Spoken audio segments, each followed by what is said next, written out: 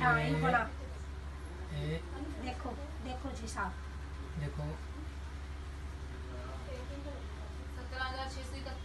हाथ में ले लिया